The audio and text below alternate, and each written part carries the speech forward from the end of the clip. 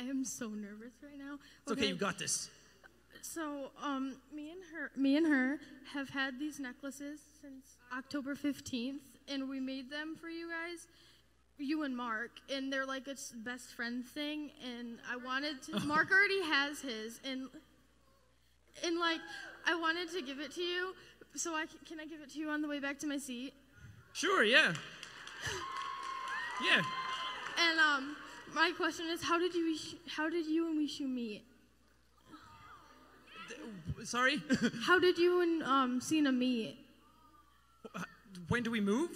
When did you meet? Oh, when did we meet? How did you? And how? Oh, how? We actually met through Tumblr, Oh, That's that's neat. which is really weird. Like, whenever I tell people that, they're kind of like, oh, I don't know. Um, but, I, okay, we have five minutes. Okay, really fast. So I was on Tumblr one day, and then I was looking up a cool thing, and then she was like, hey, dude, what's up? And I was like, yo, girl, what's up? And then I was like, oh, awesome. That's pretty cool. no, she, she had drawn some stuff of me a, a, a long time ago, and then we just got talking. I can't remember what we got talking about first. I'm terrible. Um, and then I needed, I asked her if I could use one of her pieces of art in a thumbnail for a fan game that was done. So we just kind of got talking through that. And then she was doing a live stream on her birthday, and, I, and she was drawing me in it, so I stopped in creepily and just said, hey, you better draw me pretty as a joke. And she just said, go fuck yourself. So I was like,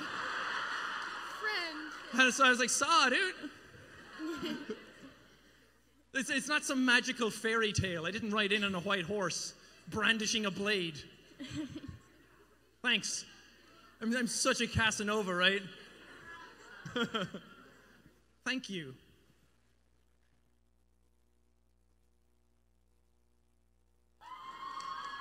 Thank you. Okay.